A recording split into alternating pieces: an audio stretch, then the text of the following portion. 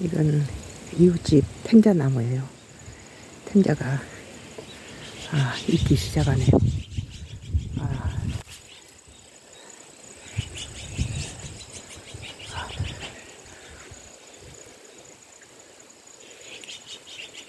탱자가 탐스럽죠?